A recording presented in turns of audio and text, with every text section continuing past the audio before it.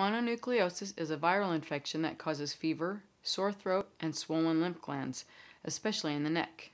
Most often, the cause is the Epstein Barr virus. Most people are infected with this virus when they are very young and they develop mild fever, fatigue, and loss of appetite. But if infection occurs during adolescence or young adulthood, the virus causes infectious mononucleosis, or mono, about 35 to 50 percent of the time. Mono is often referred to as the kissing disease because it is spread by saliva. Coughing, sneezing, and even sharing drink cans might cause transmission. Mono is very contagious, and since the incubation period can be anywhere from 10 to 60 days, it can be passed around easily without detection. What are some of the signs and symptoms associated with mono? Initially, mono might feel like the flu or even strep throat. Mono usually starts with a sore throat and muscle aches. Then it progresses to loss of appetite and extreme fatigue. Lymph nodes in the neck and throat become enlarged, and there may be abdominal tenderness due to an enlarged spleen. Another indication of mono is an elevated white blood cell count with some immature cells.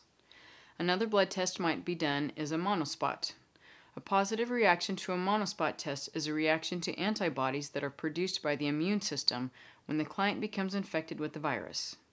If the monospot fails to confirm the diagnosis, an antibody test for the virus that causes mono can also be done.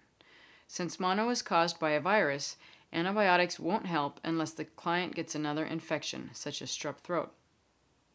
Acetaminophen, or sometimes ibuprofen, is recommended for clients with mono who have fever. This will help them feel better and alleviate muscle aches, but that's about all that can be done for this infection. Rest is what's most important.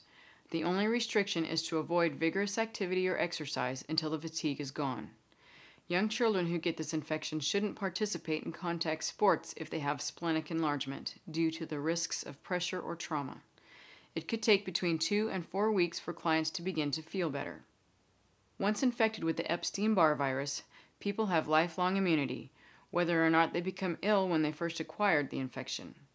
After the initial infection, the virus remains in the body for life, but it usually remains inactive.